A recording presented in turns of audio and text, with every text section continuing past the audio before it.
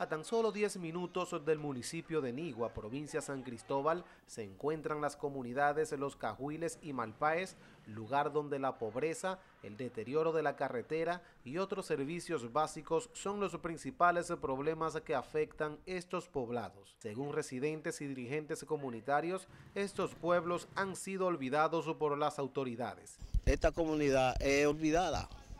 Esto era una calle que cuando la hizo Trujillo era nuevecita, nueva, nueva, la reparaban, ahora no reparan. Nunca nosotros hemos, hemos tenido una calle, esta calle nada más polvo, entonces los niños se contaminan porque el polvo penetra a la casa. Entonces queremos ver si el gobierno puede hacer algo por esta calle, porque no, no, esta no es una calle tan grande. Aquí se necesita carretera, la luz no está buena, viene cuando uno ya no la necesita agua, es un pozo que se está secando. Aquí se, necesita atención médica, medicina, que a veces no, no la mandan a tiempo. Yo, y hambre, y trabajo, los que no tienen trabajo, más no tengo más que decirle. Otro problema que afectan estas comunidades son las grietas que presentan algunas viviendas producto de las detonaciones de dinamitas por parte de una fábrica de cemento ubicada a poca distancia para extraer materiales y que según sus pobladores también está afectando la producción de frutos como en años anteriores. Se tremece un poco y luego cuando uno entra, dice, pero ven acá, pero ese rajado no estaba ahí.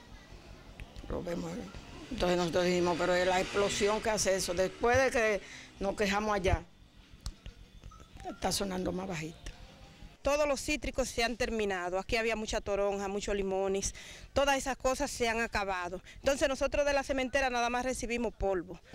Lo que se llama los cítricos que tienen limón, naranja, la china, todo eso se seca, se han secado. Muy poca, no hay más que no hay. Ellos dicen que ellos han usado los equipos adecuados, pero nosotros no sabemos de eso, pues nosotros no sabemos de minas ni nada de esas cuestiones.